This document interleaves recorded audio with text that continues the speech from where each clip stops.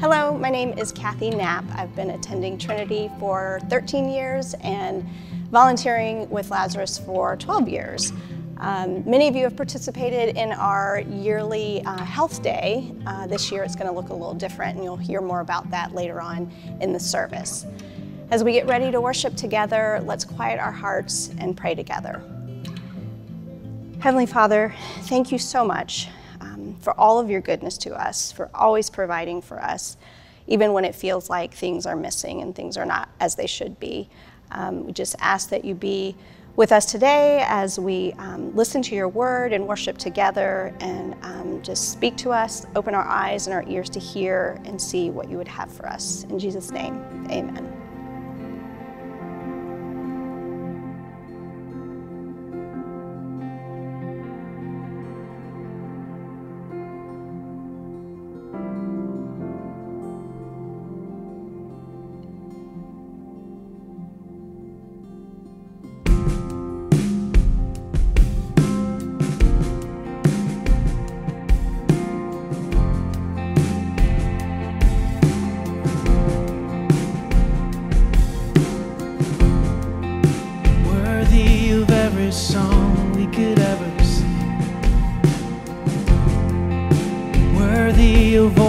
Praise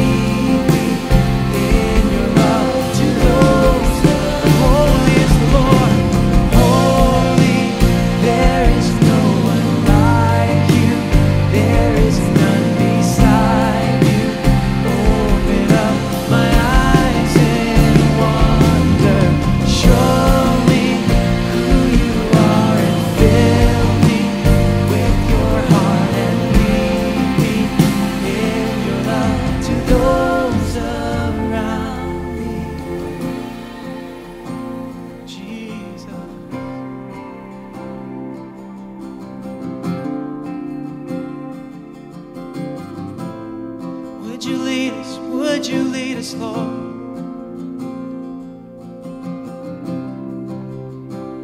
Would you lead me in your love to those of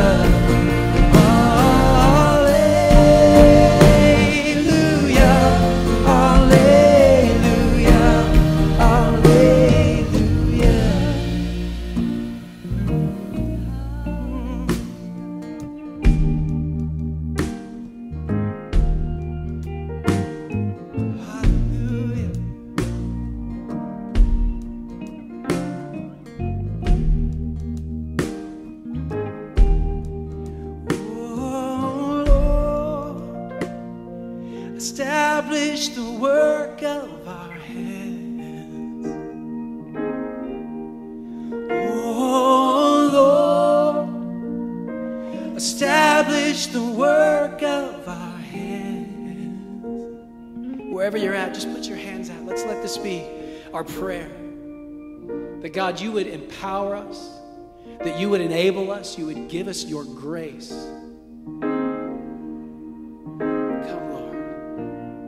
we would put our hands to, the things that we put our efforts to, would be blessed by your Spirit. Oh, Lord, establish the work of our hands. Yeah, hear our prayer, Lord. Oh, Lord, establish the work of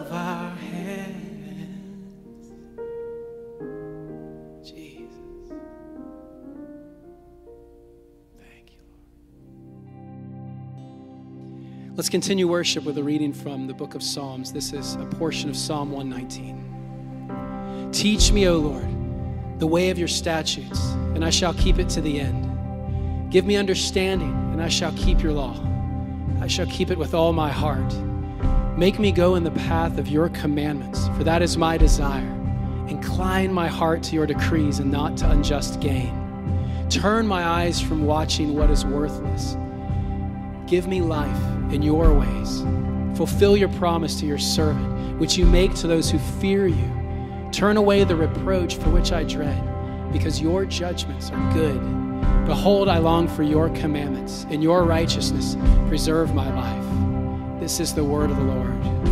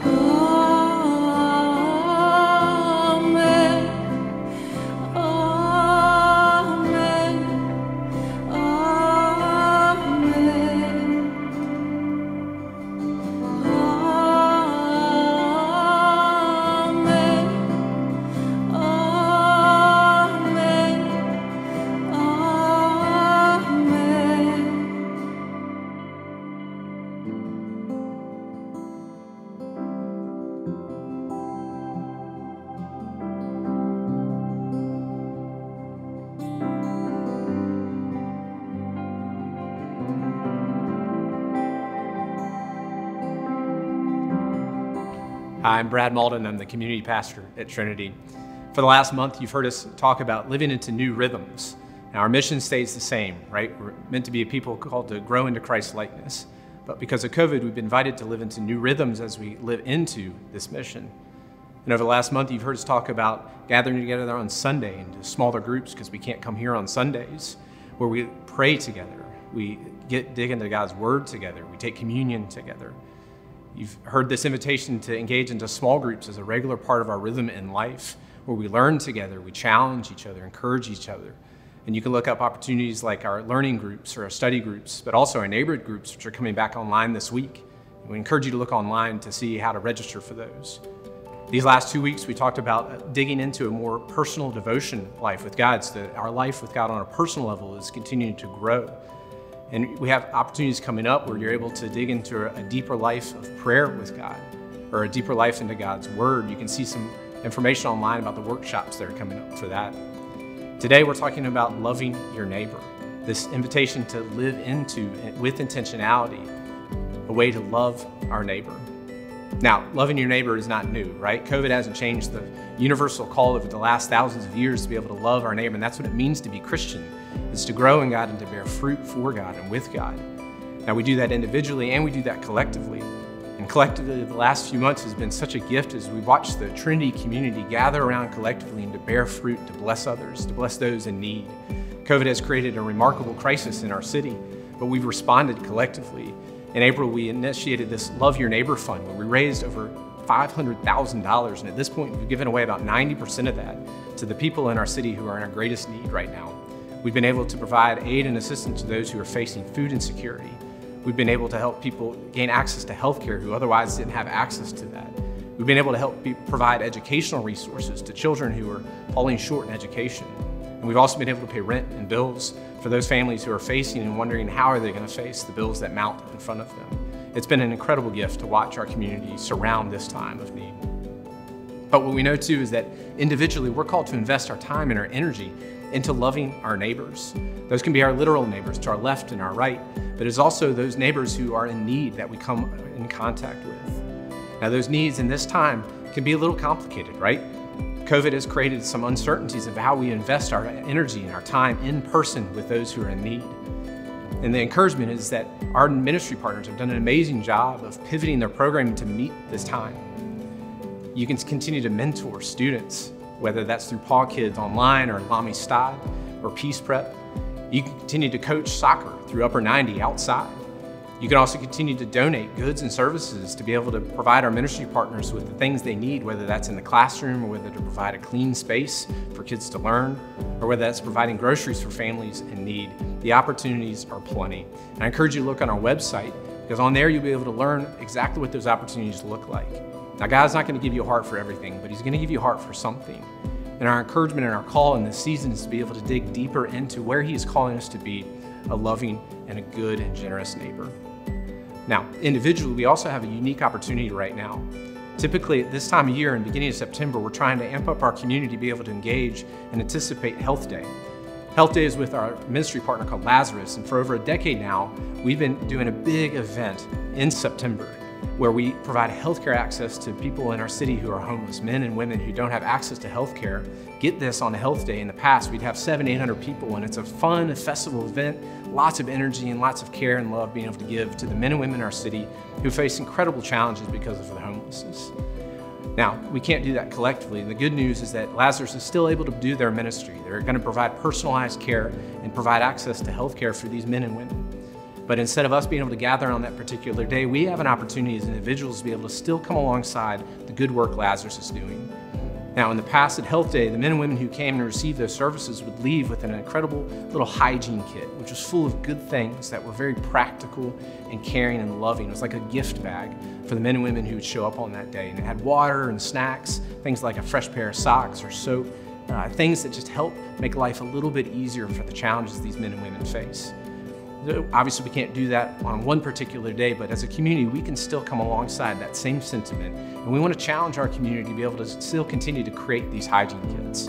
Now, what I'd like to see is for us as a community is to create 750 hygiene kits so that Lazarus, as they continue to do the work that they do week in and week out, is equipped to be able to take those bags and give them as a gift to the men and women they love on a weekly basis. These hygiene kits are going to be an incredible gift and remind the homeless men and women in our city that they are seen and they are loved. These are our brothers and our sisters, and it's an invitation to love them with intentionality and care. And we're excited to be able to do that and to challenge our community to live into this invitation. So what I want to do is over the next two weeks is to challenge our community to come up with 750 of these kits. Now look online and you'll get a lot of instructions and specifics about the details for these kits. But between now and September 20th, go out, get a Ziploc bag, fill these bags up, and let's do together, individually, the work that God calls us to do so that collectively we can bear great fruit for our city. Look online on our website for more information, and God bless you. Hello, everybody. It's so good to be with you. Welcome to church. My name is Ashley Mathews. I'm one of the pastors here at Trinity on the West Side. We are so glad to have you with us. If you have Bibles, you can go ahead and get those out. We're going to be in Matthew chapter 18. And while you're grabbing your Bible, I just want to give you a quick reminder about communion. After the last few weeks, we've been making communion kits available here on the West Side for you all to come by and grab so that you can celebrate communion together, either by yourself or with those you're watching church uh, together with on Sundays. And, I just want to say it's been uh, so good to see your faces here. We're going to be here again today from 4 to 6 p.m. and Sundays going forward. Uh, so mark your calendar so that you have an opportunity to come by and see some of our pastors will be here, our staff will be here.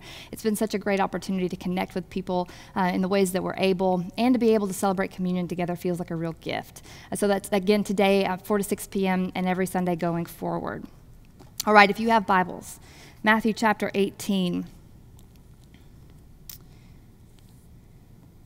We're going to be talking today about um, the church, about relationships in the church.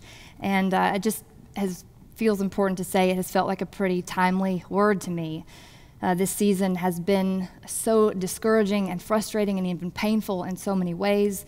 And as I've been sitting with people, I've heard people ask, you know, what does it even mean to belong to the church at a time like this? When we're so divided socially and politically, when we literally can't be together in the same space, what does it really even mean to, to be the church? And it's such an important question. And when I really do believe um, that the Lord has something to say in response to today. So, Matthew 18, verse 15, these are the words of Jesus. He says, If another member of the church sins against you, go and point out the fault when the two of you are alone. If the member listens to you, you have regained that one. But if you are not listened to, take one or two others along with you, so that every word may be confirmed by the evidence of two or three witnesses. If the member refuses to listen to them, tell it to the church. And if the offender refuses to listen even to the church, let such a one be to you as a Gentile and a tax collector. Truly I tell you, whatever you bind on earth, will be bound in heaven, and whatever you loose on earth will be loosed in heaven. Again, truly I tell you, if two of you agree on earth about anything you ask, it will be done for you by my Father in heaven. For where two or three are gathered in my name, I am there among them. This is the word of the Lord. Thanks be to God. Holy Spirit, Lord, we thank you today, God, for the gift of your word. We thank you, Jesus, for the gift of your presence with us wherever we are. And I want to ask you, Lord, especially that you would today, through your Spirit, Lord, gather us to you as the church, as your body. And even though, Lord, we are scattered apart from one another, we ask you, Lord, that for a special awareness, Lord, of what it means to belong to your body, to you, and to each other. Will you give us the wisdom of heaven, Lord? Your grace, your help. It's in the name of Jesus we pray these things. Amen. Amen. So, this entire chapter uh, really is about relationships, uh, what it means uh, to belong to the family of God. And the NRSV translates verse 15 to start uh, this, this passage that we read as um, if another member of the church sins against you. uh, then X, yada, yada, yada, go, go and do such and such a thing. But if another member of the church sins against you, and I think that's interesting because actually, uh, in the Greek, what the language says is if another brother or sister sins against you, go and do X, Y, and Z. Uh, and I just, to start, I feel like this distinction really matters because membership is one of those things that just sort of comes and goes these days, maybe especially. But uh, to be brother and sister, to belong to the kind of family that Jesus believed to be himself to be creating, is to say, like, we're, we're a part of something together. We're made of the same stuff. And whatever it is that binds us to each other and connects us is bigger than any one of us. And so, how we go through conflict, for example, really matters apparently. Jesus thought it was really important to spend some time after he's called us to be like little ones, to be like children, to desire belonging more than we desire to be ahead of each other. Jesus then goes in to give these really practical examples in verse 15 of what it looks like to navigate inevitable conflict uh, when you're a part of a family, when you belong to each other. And so he gives these four steps, uh, basically, four things to do when you find yourself in conflict uh, with each other. And I just want us to walk through them uh, step at a time. They've been so helpful and instructive to me, and I hope that they will be to you as well. Jesus says, firstly, that we have to face it. Um, so I have to deal with my hurt. I don't get to just bury it or pretend it's not there or ignore it and move away from it. Um, because if we don't treat our wounds, if we don't deal with our pain, if we don't face them, then, like a wound, that pain begins to fester. All wounds left untreated, if they're serious enough, will do exactly that. We've said this before in weeks past. Some of what we're experiencing in the church, particularly with respect to race right now, feels exactly like that. It, it is a wound that we have for too long left untreated. And so when a wound begins to manifest symptoms of neglect or infection, the, the response is not to be mad at the symptom, right? The, the more helpful, um, the more constructive response, rather, is to, to ask myself the question what did I do or not do? What did we do or not do to get us here? And maybe even as important, to ask what do we do now to deal with it or to treat it? So Jesus is calling us firstly to face it, to be willing to face the things that hurt us, to deal with our pain. And it's a really important thing to name and say. And then secondly, he's going to say, I go to the source of that pain before I take it to someone else. Uh, so if I'm hurt, I'm going to take it firstly to the person who's hurt me before I go somewhere else. Now, let's just talk real life for a second, what this actually looks like for me. If someone hurts my feelings, um, or violates my trust in some way. Uh, here's what I do I usually call my person or a couple of people. I hope you have your people. The, they're the people that you feel very free to sort of like dump your ugly on and work stuff out with. Uh, you know who that person is for you. And I call my person or my people and work through my feelings. I talk through what happened. And I just to say, to relieve some guilt, I think that's actually really healthy and wise thing to do because if you have good people, assuming your person is a wise and can be neutral person, uh, what my people help me do is sort of sort through my feelings to figure out what parts of what I'm feeling are really valid and what parts of what I'm feeling really aren't and need to just, rather than being talked through, I need to deal with on my own. And after I've done that, I pray. So I talk to my person, I pray, and then Jesus is saying we, we go to the person, to the source, and we deal with things face to face. I love what he says so much um, about this because the language that he uses, I think, is really important. I think it's really specific. Jesus is saying, I want you to go to this person, I want you to deal with it privately, which is another important thing to point out. It means we don't get to air out our grievances in public um, or in public forums, be they online or otherwise. If we have issues, we're supposed to go to the person, do it privately. And Jesus says, if they listen to you, then you have, the language he uses is you have regained your brother or your sister, which is a really powerful way to think about that because what Jesus is saying is you have reclaimed something really valuable that you almost lost. Something that, in and of itself, that relationship, Jesus is saying, has value. And I think that's important to say because what that means to me, and I hope to all of us, is that Jesus is saying our relationships with each other, particularly within the church, they have kingdom value. They, they're like an asset that can do things. And if we lose them, then we've lost something of immense worth it's kind of like if you think about that in terms of like what has great value in the world well money of course is a is a source it's an asset a resource that has great value and it can be spent in a number of ways. It's the means by which we acquire things or build things or do things in the world. What if what Jesus is saying is in part our unity our connection to each other is a valuable asset. It's like a resource that when we have it in great quantities, we're able to acquire and build and do things for the kingdom of heaven. And when we don't have that unity, when we've lost that relationship and connection to each other, we've lost a resource, something of immense value. And therefore, we're less able to do the things um, that we would otherwise be able to do. So that's important. Jesus says, I need to deal with it, I have to deal with my pain. I have to deal with it by going to the person or the source of my pain directly and privately.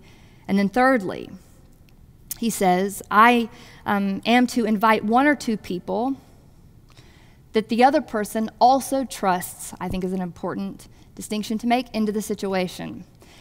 So it's probably not a great idea. Uh, Jesus says, you know, if you go to them one on one and it doesn't work out, they don't listen to you. Uh, go back again, and this time take a couple of people with you. Uh, now, here's my recommendation. Jesus doesn't say this. I just think it's um, maybe based on experience.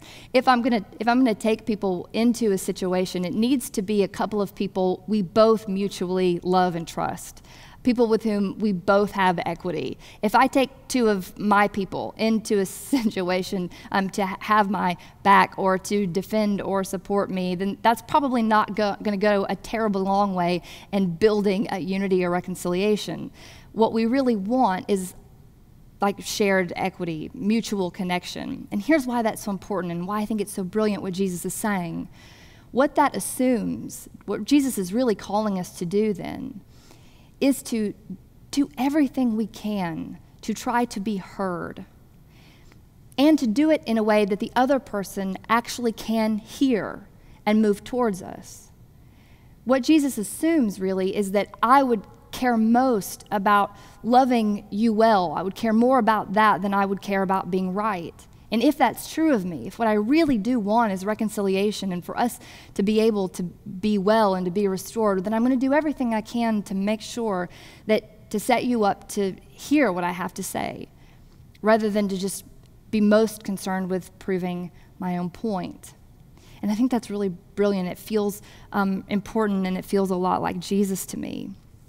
I also think it's a really timely word for a moment like the one um, we're in because we in the church do have a responsibility, of course, to consider how we speak truth. We're called to speak the truth, and we're called to do it in love. And in a moment like the one we're in, that feels really important to say. Our only options, y'all, cannot be either we remain silent or we say what's true however it suits me in a moment. I'm either going to remain silent or I'm going to say it however it suits me. Those cannot be our only options. Now, responding to something out of acute pain is another thing. Everybody gets um, has the right to respond to acute pain and to do it however they have to do it. But what Jesus is assuming is that I've now created enough space to give thoughtful consideration to how I'm going to mend a situation and then I'm going to have to do that by speaking truth, and I'm going to have to do that by speaking the truth in love. That's our responsibility. It's how we work things out together uh, in the church. Jesus is saying. And then he's going to go on to say, fourthly, uh, if that doesn't work, um, you've gone to the person on your own, you've gone to the person with a couple of trusted people, or maybe one other trusted person, then Jesus says um, that we're to take it to the church.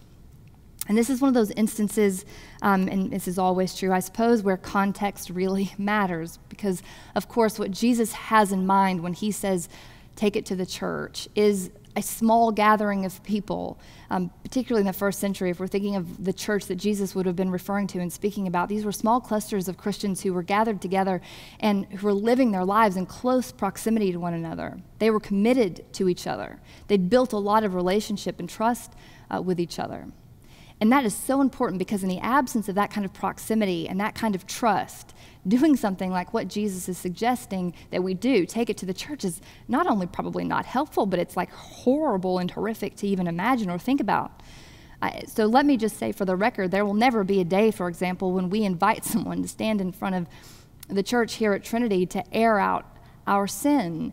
And that's because it wouldn't accomplish the thing that Jesus intends to accomplish um, which is that there would be reconciliation. We don't live in close enough proximity to one another. Not everybody in this room could possibly have the kind of equity that would be required. It would be shameful. It would only reinforce pain and hurt. And shame is always a hellish strategy. It never heals, it never restores. It cannot be our strategy for the way that we're dealing with our disagreement we cannot possibly believe that if I could just shame this person into agreeing with me, that that, that, that would work. If what we're really hoping for is agreement and unity, then shame can never be our strategy or our um, tactic. It just, it will never bear fruit. Uh, it will never work. I also think it's important to note that there is a difference I know for myself in feeling shame um, and then feeling conviction, which is, of course, a really good and right thing to feel. If people I love come to me and say, um, What you're doing has hurt us and it's wrong, and I feel badly about that, that isn't necessarily shame. It can turn into that. But if um, the way it's intended to work is if I feel badly, I'm to assume that's probably conviction. And if I'll allow it, the Holy, invite the Holy Spirit into a place like that, then that conviction can in fact lead me into right relationship, both with God and with the people around me. So in that way, it's Jesus is saying that kind of that kind of discomfort can actually be really good for us. And then lastly, number 4, Jesus says, if none of this works, then treat them like a Gentile or a tax collector. Now, we could infer a number of meanings um, from what Jesus is saying. We could assume that what he means, therefore, is that if somebody refuses to see it the way I see it or to um, admit what the wrong that has, um, what wrong has been done to me, well, then I can just write them off. I could ignore them. I could break relationship with them, keep a safe distance, pity them from afar because they just, you know, couldn't see the truth. Or we could assume I think we're meant to assume that we ought to treat them the way that Jesus treated Gentiles and tax collectors, which means that he, we would be to treat them the way that Jesus treated the centurion who came to him to ask that his servant be healed. That we would treat them the way that Jesus treated Zacchaeus, the tax collector, when he went and sat at his table and had a meal with him while everyone sort of scoffed behind the scenes.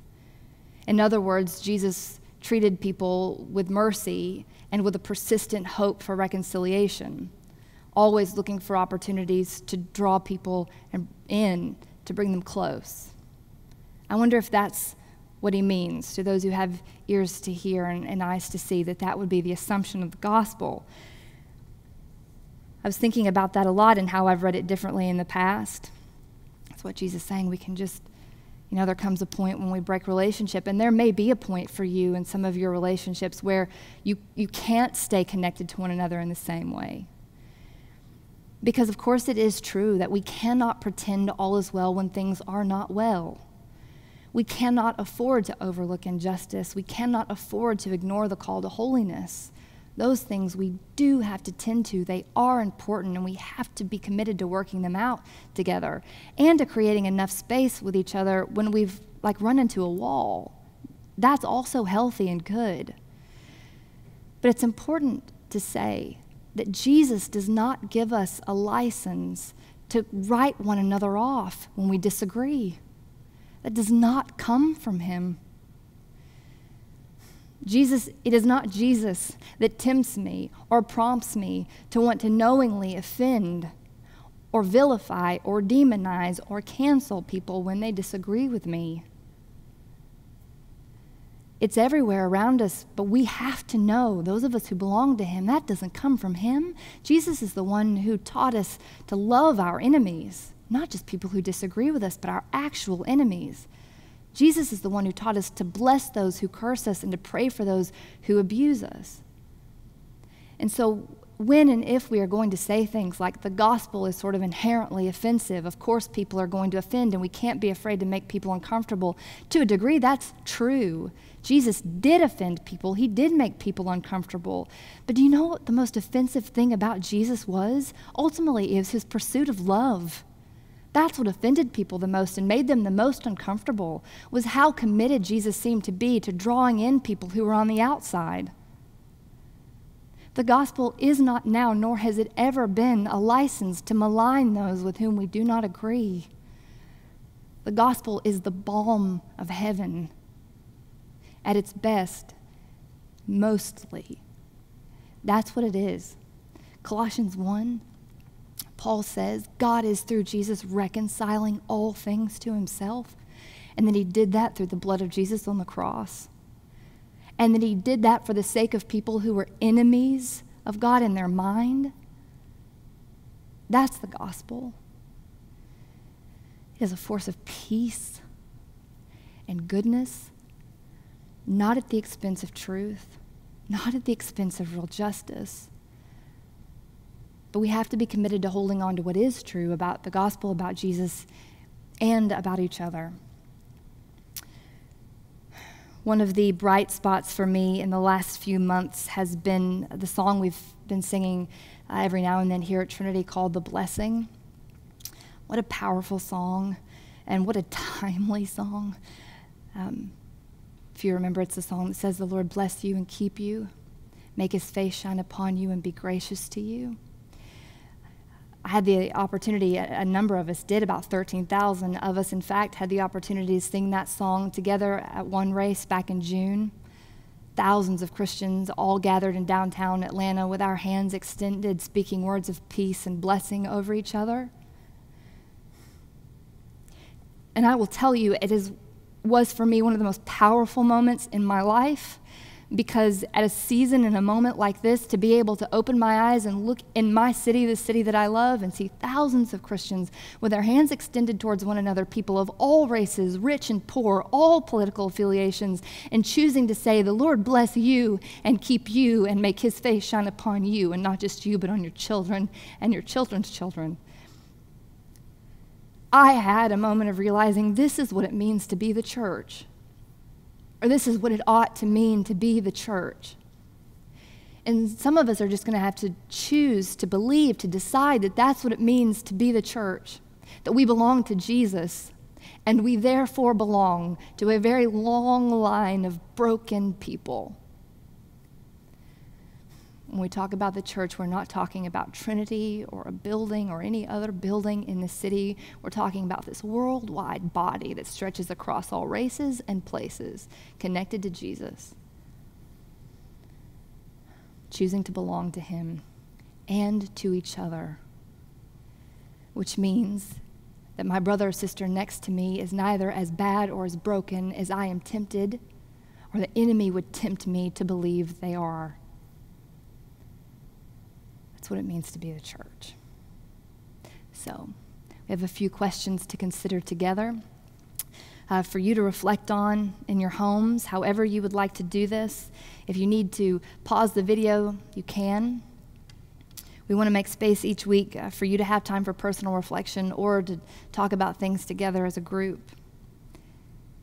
I'll read the questions and then you'll have them available for you on the screen. The first if you could change one thing about the way you handle conflict, what would it be?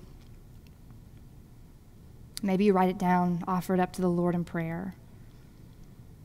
And secondly, can you recall a time when a hard conflict was dealt with in a way that was redemptive? When you experienced restoration either with a group of people or with another person? Again, call it to mind, offer it up as a, a prayer of thanksgiving to the Lord, maybe encourage each other with it. Amen. We're going to prepare now to pray together. This is also an opportunity for you all to go and gather your communion kits so that you can receive communion together um, when we close our time. Also, want to remind those of you who belong to Trinity if you call Trinity home, We want to invite you to continue giving to support the mission of this church. You can do that by going to our website. We would normally go forward together and um, give our offerings in the basket, but now we uh, all have to do that online. And so you can go to the website, go to the Westside page. You'll see an opportunity to give there. If you are not um, a member of Trinity, if Trinity isn't your home church, if you're joining us from elsewhere, somewhere else in the country or in the city, but you have a home church, we're so glad that you're with us and joining us for worship, but please don't give.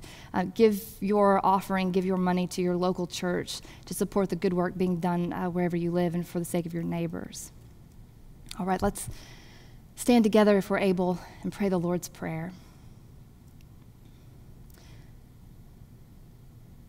Our Father who art in heaven, hallowed be thy name. Thy kingdom come, thy will be done on earth as it is in heaven. Give us this day our daily bread, and forgive us our trespasses, as we forgive those who trespass against us. And lead us not into temptation, but deliver us from evil. For thine is the kingdom, and the power, and the glory, forever and ever. Amen.